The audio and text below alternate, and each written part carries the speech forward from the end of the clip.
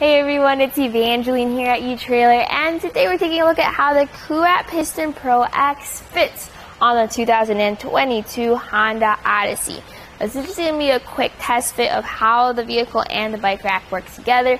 If you want to take a look at all the specs, features, measurements, check out our full review here at etrailer.com. Now, the main thing about the Kuat piston is the piston. It has hydro pneumatic pistons right here that makes it easier for you to load and unload your bike. And we'll talk about features like that, but first, on the Honda Odyssey, you have a big hatch and big cargo space. So what if you want to grab things out of your hatch? You can just press on this lever and then this should drop the bike rack down to a tilt right there. Note that if you max it out at 67 pounds per bike, that's going to be a lot of weight coming down for that tilt. But with the bike rack tilted away, we have clearance from our pedals with our handlebars to our hatch door.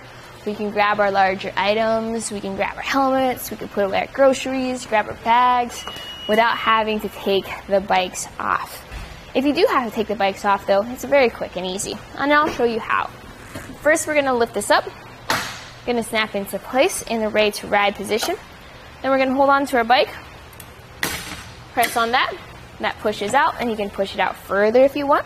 One and two.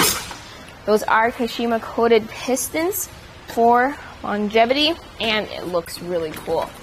We're going to bring this over to the side so that we can take a closer look at the bike rack itself.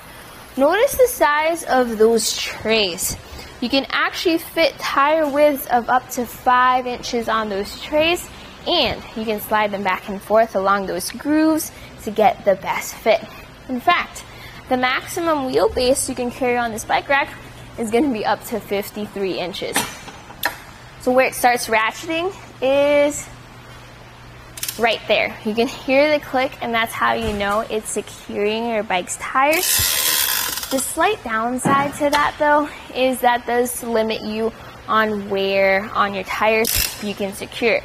You can make quick and easy adjustments though right here for those different tire sizes if needed to get the best fit for you.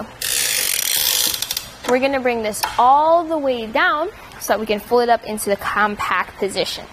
Remember that lever we pulled earlier?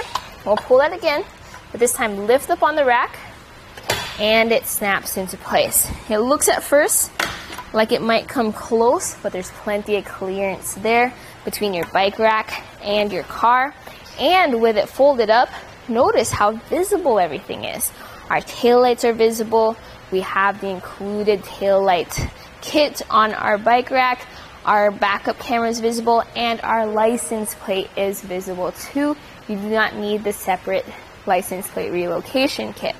With this bike rack too, notice how we have a hitch and wiring on our Honda Odyssey. Those were installed earlier today. If you do not have a hitch or a four-way wiring installed, you can find the right kit for you here at etrailer.com to match your vehicle. If you don't have wiring, this is optional. You don't need to use those lights. You can see it mimics your car with the tail lights, hazard lights, brake lights, things like that. For security purposes, you also have other things like how your handle to tighten things down is right there. You can lock that you can lock your bike rack too. You can lock your bikes. That way everything is nice and secure. So the types of bikes you can carry with this are those heavy e-bikes, those longer mountain bikes. For this design, I really like how quick and easy it was to use the piston. If you like that design though without the piston, you may want to check out the RockyMounts guide rail instead. That is not as a premium of a price, but you don't have the same features that the Piston Pro X does. So this right here was a quick look at how the Kuat Piston Pro X 2-bike platform rack looks on the 2022 Honda Odyssey.